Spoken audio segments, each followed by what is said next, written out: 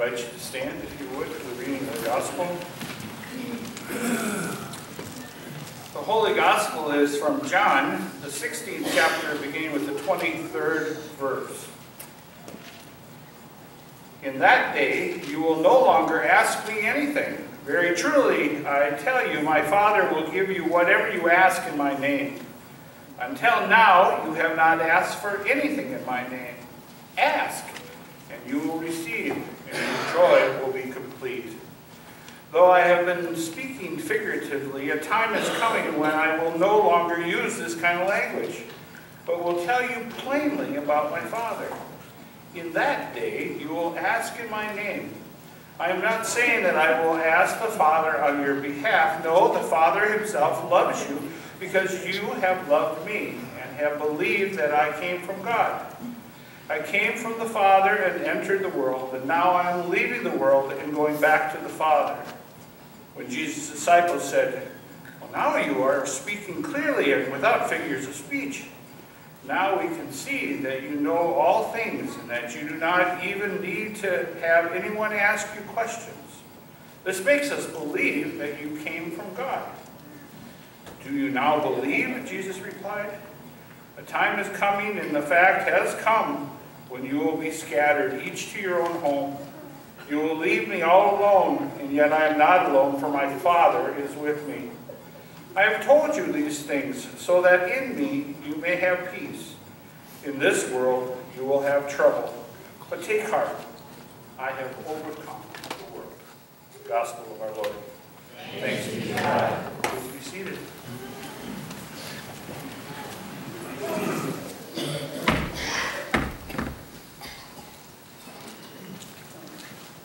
One of the founding fathers of our country, of the United States of America, uh, signer of the Declaration Benjamin Franklin, he was reported to have said many wise and thoughtful things. Uh, but one in particular that uh, applies here today is a phrase that he said to somebody uh, about death and taxes. He says that only two things are certain in this world, death and taxes. Well, it could be true, But Jesus leaves us today with an alternative guarantee of what is certain in this world. In the last verses of what you just heard read, Jesus says, while you are in this world, you will have trouble. That's certainly true. If you are in me, you will have peace. That's absolutely true. So Jesus says, take heart then. I have overcome the world. That last bit leaves us with hope and promise. Let's pray.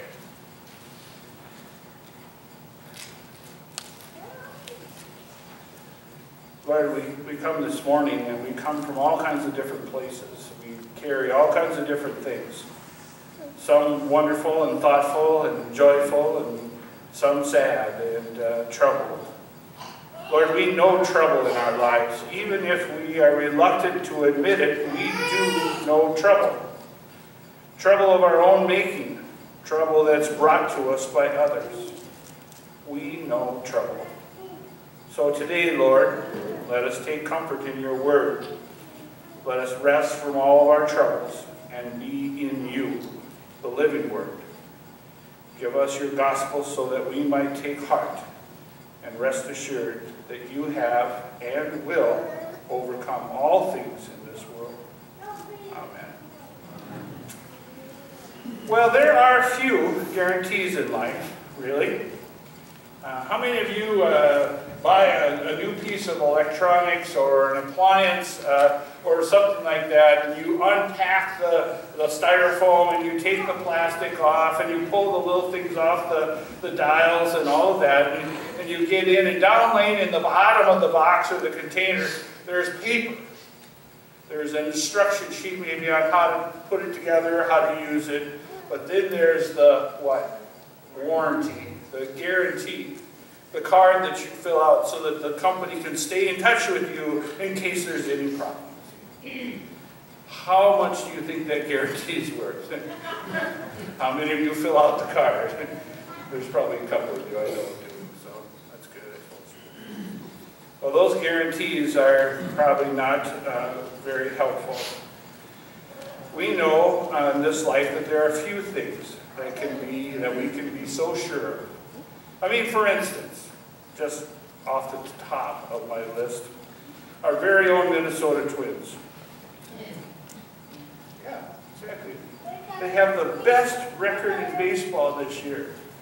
And yet, when you hear people talk about it, they go, yeah, they got the best record. But there's this little bit of, well, I'm not sure it's for sure. It's not certain. There's no guarantee we're going further. And that's because what? We've been there before, right? But who knows? This could be the year. But even in baseball, there's nothing for sure, or is there in life? You see, there's no guarantee either that uh, we'll have money or uh, resources. We, we put our uh, money away in our 401ks and uh, we watch the stock market go up and down. And we wonder if we'll have enough. There's no guarantee that we will. In fact, uh, some people who have great wealth, uh, for instance, who have won the lottery, and Evelyn Marie Adams is one of these people. She won $5.4 million in the New Jersey lottery. And after all kinds of trouble and some really bad relatives and lots of legal expenses and a good deal of time in Las Vegas, evidently, she lost all that money and filed for bankruptcy. You see, there's no guarantee that you'll have those things. There's no guarantee in life, and things can go south in a hurry. You see, you have no guarantee about your health either. You can work out every day. You can train. You can run. You can bicycle. You can lift weights, cardio train, run uh, for a marathon. You can eat healthy. You can eat kale. Some reason only God knows, but you can eat healthy food. And at the same time, after doing all those things, you can be one who will just get sick or be diagnosed with cancer or drop dead of a heart attack without having ever seen a symptom. This is all the reason I have for not working out or doing that. Flo Hyman uh, was the leader of the USA women's volleyball team. Uh, she was on the team that won the silver medal at the Olympics. She was thought to be one of the finest women's volleyball players in the entire world, and during the match, uh, she, she rotated off and took the bench and then jumped up to, to cheer her team on. And she would be one of the most healthy, physically fit women there would be. And then suddenly she collapsed and had heart failure at the age of 31. It would appear that nothing in this world is for certain. And there is nothing for sure. And there seems to be no guarantees in life. Yet in our scripture, in the very end, verses 33 through 34, today's gospel reading, Jesus wraps it up and he gives us two things that we can be certain of. Two things that we can count on. Two things that we can be absolutely for sure in our life. He says this to the disciples, and you have to understand the context because John 16 is all taking place in the upper room. These are the last moments that the disciples have with Jesus. And within just a very short time, he'll be take, they'll go out to the Garden of Gethsemane, and Judas will betray them, and he will be arrested by the temple guards. Within hours of this, he'll be in trial, and they will be torturing him and persecuting him. Within a day, they will crucify him on the cross, and within three days, he will be raised from the dead. All of this is taking place, so when you hear this about to happen, you listen to these words and they have a particular context. That there is something that you can be sure of. And Jesus guarantees us that two things are absolutely certain, and it's not death and tax. It's two things. I'll read it again, 33 and 34. I have told you these things so that in me you may have peace. That in me, Jesus, you will have peace. In this world you will have trouble. But take heart. Here's the promise. I have overcome the world. Peace on one hand and trouble on the other. The two things we can be sure of, the two things that we can count on, according to Jesus, the two things that are guaranteed to come our way as a follower of Jesus, peace and trouble. You see, our, our trouble, though, comes to us in various forms. I mean, uh, there is uh, three of them, actually. The trouble that comes simply from living in a fallen world. The world around us uh, is uh, one such that things just don't always work the way they should. For instance, my car would be an example of not always working the way it should, maybe yours. For instance, my computer won't print. Another issue. Uh, all these things just happen in a broken world. Uh, they happen in a world where there's trouble. Nature doesn't always work right. We just heard in the news this morning of tornadoes, more tornadoes that took place, and some people were killed, and homes and communities were destroyed. And not only that, but flooding, and you can name your disaster, but sometimes nature doesn't work right either, and there's trouble. People don't always do the right thing, you see. They do things that hurt us. They, uh, whether directly or indirectly, people are sometimes the cause of our troubles. Sometimes it's economic decisions, and it's Wall Street, uh, or it's the government, or any kind of thing like that, where the effect of what they decide outside of our realm causes us trouble. And even more sinister is when thieves or people who have evil intent will steal or hack into our computers or into our personal life and use our resources and take those things. They will cause us trouble. Emotional hurt too. Trouble in our lives. People we care about betray us sometimes. They break our hearts over what they said they would do and they didn't. People we love, we see them suffering. When we see them suffering, the trouble that comes is that we suffer too. We lose people we love, whether to death or they've gone and uh, moved away a distance, and we miss them. And that trouble comes unintentionally, but it still comes. All these troubles we face will simply be there because we live in a fallen world. And it doesn't matter if you're a Christian or not in these particular cases. You've got troubles, they got troubles, we all got troubles. Uh, just point them out. And then there's a different kind of trouble. Trouble that comes from outside of us to us. Uh, comes from inside us, I'm sorry. Foolish decisions we. Anybody that made a foolish decision, raise your hand. How many of you are lying right now? yeah, all the rest of you should have your hand up, right? How about the dumb things that we've done that we should have known better, or that a wise person told us that we should have known better? Often a parent, right? Some things we've left undone. We knew we should have done that, or said that to a person, or, or worked to make that relationship different, but we didn't things that we've done over and over and over again. It's something that is, causes trouble that comes from within us. But you see, most importantly, the trouble we experience is sometimes because we disobey or disregard what God has to say to us, especially about the right way to live. Now, our sharp, brilliant, powerfully minded confirmation students, they have to memorize the Ten Commandments and the meanings to them, for which, as all of us have had to know, is that those Ten Commandments are a way in which we can know how God would want us to live our life. But often we too will just, you know, not consider them to be important, disobey or disregard them.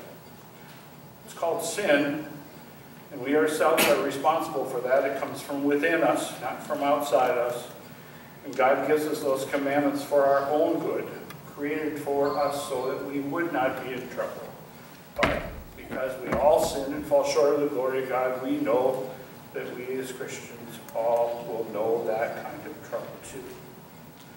And lastly, or thirdly, we might say that there's a trouble that comes because the outside world sees us and doesn't like what they see. That we say that there's a right and a wrong. That we say that there is a way that God would have us live and there's a way that God would not have us live. And when we say things like that, in these absolutes, uh, these truths, as we say in the Bible, uh, in that the world reacts against us. And so the world sees us, and it's not a very Christian thing, but the context for which they see us is not always positive. They stereotype us, they make fun of us, they laugh at us. trouble always comes. There's one thing that we can count on as a believer even, and that is that trouble will come. Well, you all know that I have a beautiful singing voice. Just like a lark, uh, like morning waking up to a new day. You don't know what to say, do you? should we go along with this or should we not?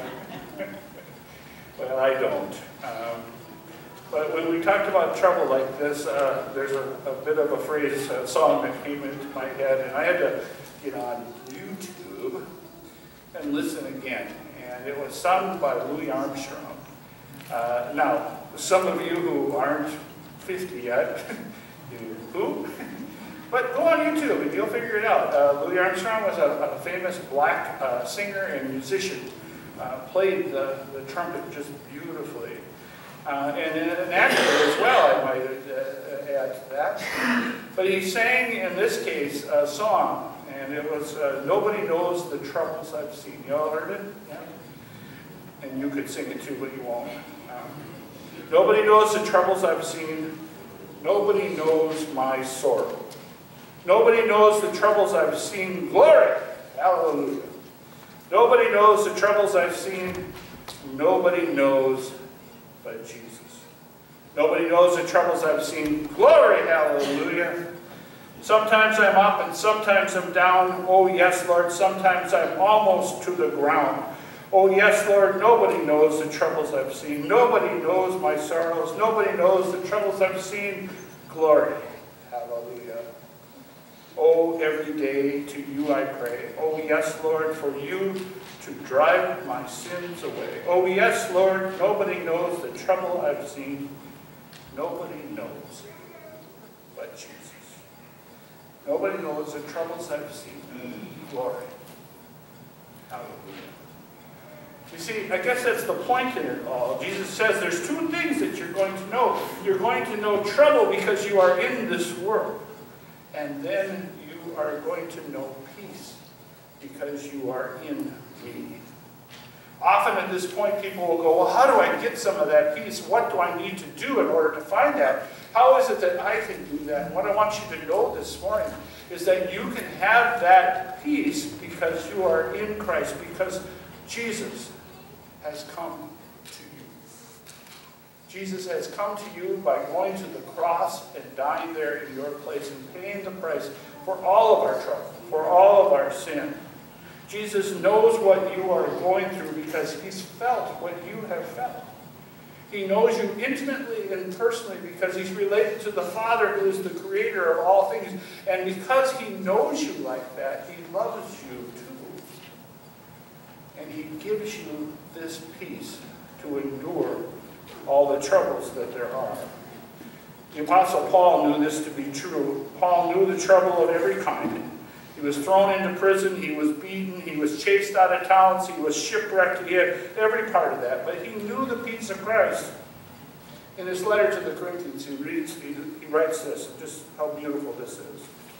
Paul writes, Blessed be the God and Father of our Lord Jesus Christ, the Father of mercy the God of all comfort, who comforts us in our affliction or our troubles, so that we may be able to comfort those who are in trouble with the comfort with which we ourselves have been comforted from God himself. Isn't that something? Jesus has done that for us. Jesus gives that. So, we can do this today because Jesus gives it to us, this peace. Not something we earn, but we have by God's grace. In this world, we're going to have trouble.